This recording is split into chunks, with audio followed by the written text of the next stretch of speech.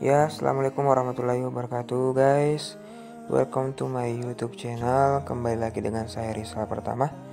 Kali ini nuansa yang berbeda karena mungkin sebelumnya saya menggunakan eh, bahasa Inggris ya, guys. Yang di mana itu kebetulan saya mempunyai tugas ya, tugas kampus dan saya kebetulan prodi PBI di salah satu universitas di Yogyakarta. Dan kali ini saya ingin mencoba iseng-iseng aja sih ya guys ya mengisi kegabutan saya selama ada di rumah yakni tutorial mendownload video yang ada di YouTube nih.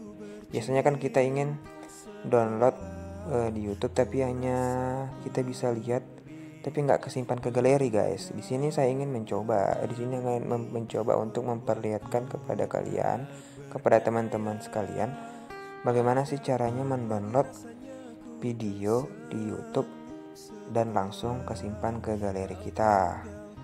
Nah, pastikan sebelum itu teman-teman mendownload salah satu aplikasi ya yang bisa dipakai untuk menyimpan ke galeri. Yakni di sini saya mempunyai rekomendasi yakni Bitmap teman-teman. Saya menggunakan Bitmap untuk ya untuk mendownload video yang ada di YouTube dan mana pun. Di sini kita bisa lihat sendiri. Dibuka dulu.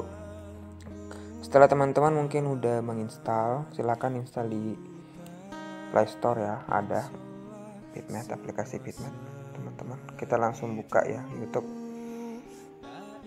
untuk caranya. Nah, di sini karena hanya tutorial, di sini saya ingin uh, mencari video apa aja ya guys, yang durasinya mungkin pendek sini kita cari dulu videonya. Nah ini video detik-detik prajurit TNI Hadang Tank Israel. Kita tinggal buka uh, video apa aja yang kita ingin download di YouTube.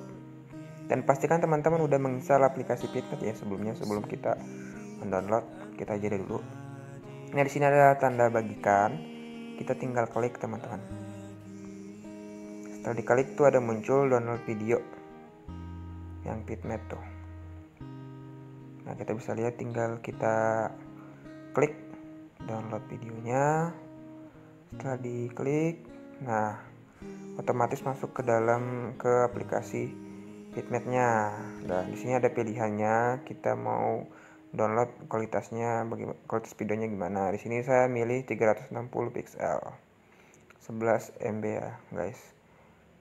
Karena durasinya pendek mungkin 11 MB hanya 2 menit Nah, kita tinggal klik unduh, guys. Klik unduh dan ada tulisan tugas ditambahkan. Nah, kita tinggal tunggu 30% menuju ke 100%. Kita tunggu sampai 100% ya. Nah, 97 bentar lagi. Nah, selesai guys. Selesai mengunduh. Dan otomatis ini video kita ini akan udah kesimpan ke galeri kita dan sebelumnya itu nanti kan ada tulisan sebenarnya ada tulisan e, untuk menyimpan ke ke mana ke HP atau di memori apa SD atau internal. Di situ ada pilihannya untuk pertama kali kita mendownload itu aplikasi ini. Dan untuk membuktikan apa udah kesimpan ke galeri ke video kita manager file kita bisa buka manager file atau video guys. Di sini saya langsung membuka video kita lihat. Nah udah ke download guys. Ini video dari YouTube tadi ya yang barusan saya download. Nah kita bisa putar dan menikmati videonya. Mungkin sekian dari tutorial saya. Nah, besok besok saya ingin mencoba sesuatu yang baru lagi yang mungkin jarang diketahui oleh orang lain guys. Dan see you. Assalamualaikum warahmatullahi wabarakatuh